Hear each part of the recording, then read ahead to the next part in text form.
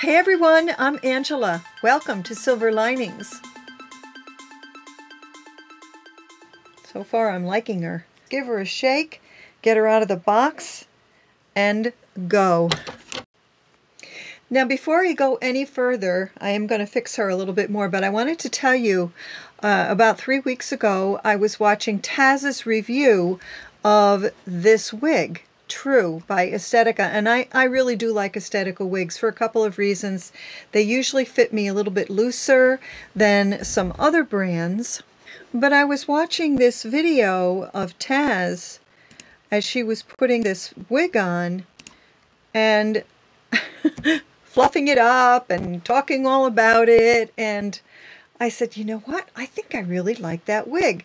And what Taz is talking about is how, how fluffy and how full it is. And, and then, of course, she goes on to talk about the color.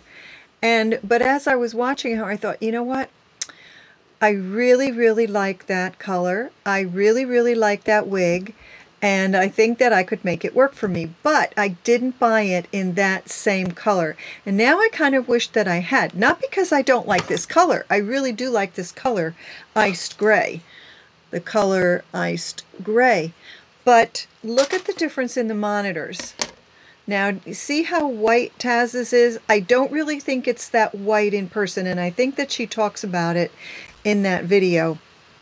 Uh, because what happens is the cameras pick, depending on the camera, depending on the lighting in the room, uh, it starts making, a, it can start to make a wig look much whiter or brighter than it really is. Now, I have worked so hard on my lighting. If I told you the amount of hours, everything that I've done to try to make these colors in this wig as true to in the monitor to your eye, to you on the other part, uh, side of the screen, I, I don't even know how many hours I have invested in it. And it's pretty close. What I'm looking at in my mirror is pretty close to what I'm looking in, in my monitor. So, but I really wonder if I had purchased Silver Sun because Taz said it had a white base. So those of you out there who are looking for more white, more silvery gray, I think looking at Taz's uh, color there, looking at this color here, I may even pick up um, this wig true in that silver sun base just to see the difference, just to see how much more white it looks. Okay, so obviously what we're seeing here is a very heavily layered with a very nice fringe. Lots of volume. She does have permatease up on the top. She's got some permatease on the side. It's not heavily pillowed though. And so you're going to be able to take these, these layers here and just kind of push them forward with your hands like that. Which personally I really like because I'm not fond of hair hanging down on my face, on my cheek area, but I really don't mind it so much if it's just all framing my face like that. And I think this part right here, that's very pretty, that's very feminine.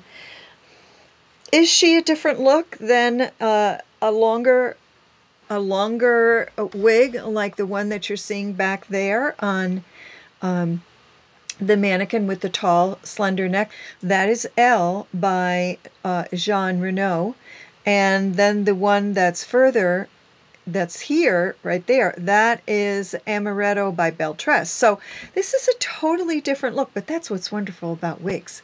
You can have just totally different looks. But right now, and I have an average to large head, she feels pretty comfortable on my head. Um, she is machine made up at the top. You don't really need the lace front because, you know, you've got all of this bang covering that part of the wig. So that would really be unnecessary and, and a waste of money. But she is very comfortable on me. Okay, so before I move on to the color, let me just a little couple of other comments about just styling her, how she feels on your head, uh, you could, of course, take your comb and you could smooth her down She could be a little bit more sleek across the across that forehead area.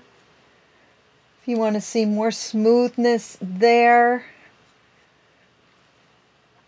I don't know that might you might feel that that ages you, but you know whatever. I think the beauty of this wig is you really can make her you can you can mess her up. You can make her look really full. If you wanted to have her have a um, smoother along the sides, around your ears, you could certainly do that. Just for a little bit of a different look there. Let me see if we pull that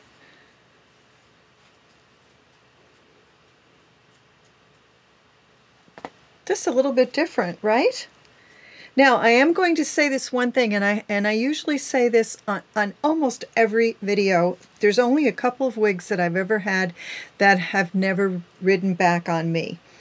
And Estetica usually does not ride back on me, but this one is riding back. And so I will show you if I if I kept her on, if I move her just a little bit, she's going back. So even with this wig, Estetica, which runs a little bit large, she's feeling, I'm not feeling totally at peace uh, and comfortable right here. So again, I'd probably have to use the It Stays. I just put her up at the crown. I don't, I put her right up at the hairline. I put the It Stays right there, just right that two inch spot right there. And then I put my wig on and I'm, I'm comfortable. So just in case you're you're like me and you're running large. Because when I tried to do all the all the things that Taz was doing all around the, the hairline, she started to move back on me. Nothing against the wig. I think my head is really larger than I think it is. Okay, so you could do that. You can make her have a little bit more of a pixie look if that's what you want, but I think she's really sweet. And let, let's talk a little bit about color here. Share my screen with you. I love doing that. Now here is Estetica's True in these two colors. So over here we have the Iced Gray, which is Platinum Gray with white blend. Platinum Gray with white blend. So when you hear platinum, you're usually thinking of more in the uh, yellow very, very, very, very, very, very pale, pale yellow, but you're usually thinking of that color. But then they blended it with the white, and I think it makes a beautiful combination. I'm not seeing any yellow at all in my monitor. None. All I'm seeing is glare from my glasses. That drives me crazy. Okay, and then there's Taz. That was my inspiration for purchasing this wig. And even there you can see how Taz has it all fluffed up and now how I've had I have it kind of smoothed down. So there was my inspiration, Taz, and then here is the color that Taz has on, that Silver Sun 8. Ice blonde, dusted with soft sand and golden brown roots. So there you can see the difference uh, between the iced gray and the silver sun. But when I looked at the silver sun, to me, to my to my eye, it it just I didn't see icy anything. But I trust Taz, and I know that she said that they have they had that. So I thought, oh no, I'm going to get it home. I'm going to get it in my hand, and it's going to be yellow. And now I kind of wish that I could see it in person, just to see the difference, because I've been looking at that silver sun for a while. Okay, but this color is absolutely true to hopefully what you're seeing in your monitor. I'm not seeing any yellow whatsoever.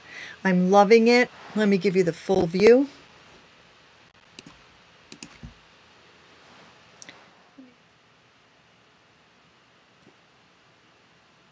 Very pretty.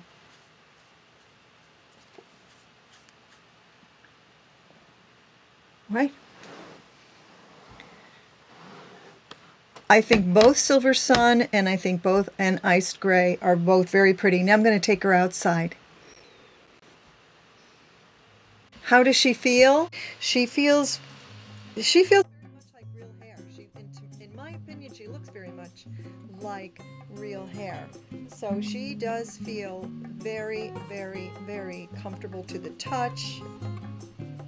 It's not don't know. It's it's more hair perhaps than than I'm used to.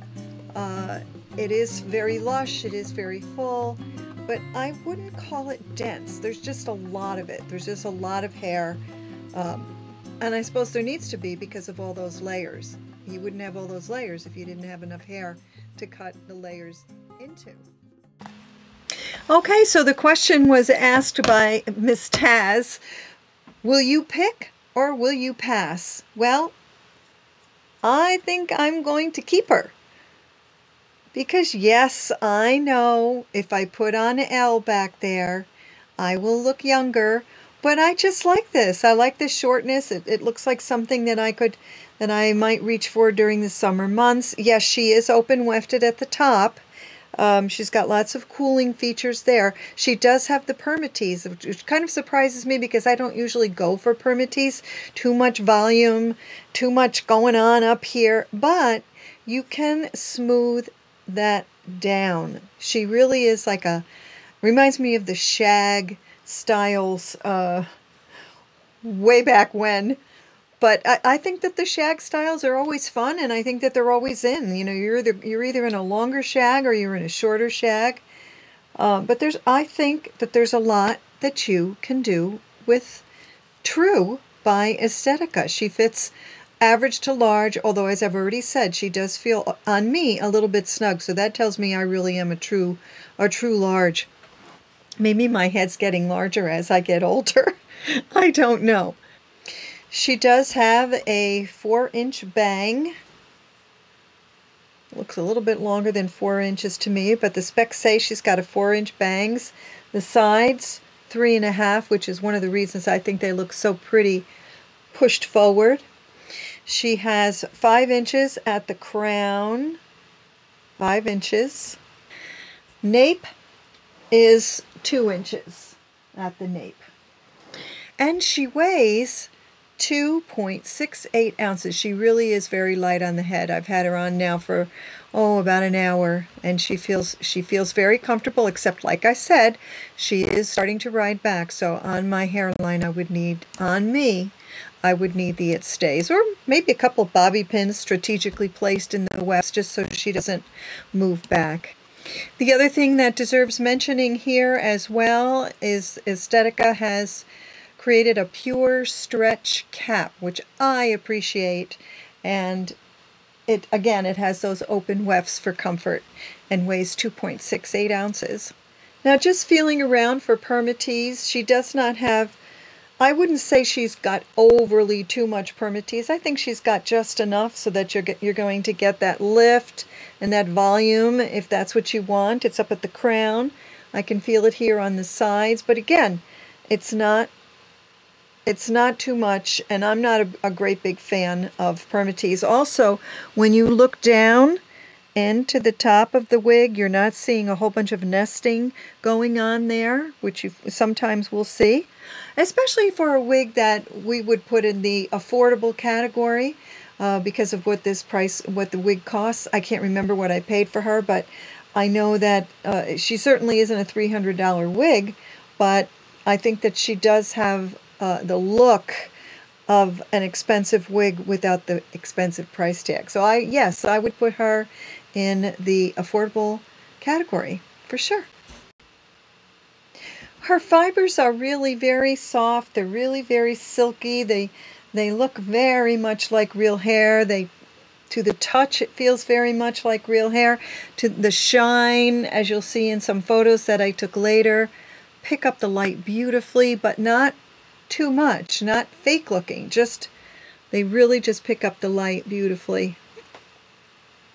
I think she's such a cute wig. I really do. I can't stop touching her.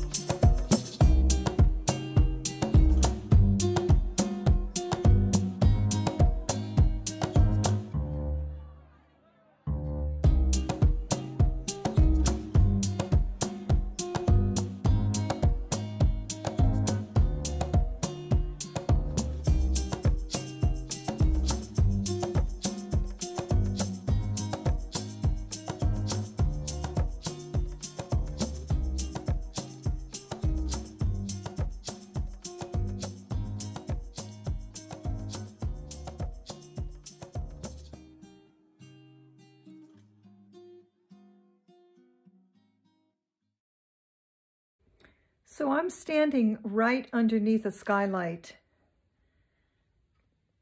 And it really does pick up all the beautiful colors in this wig.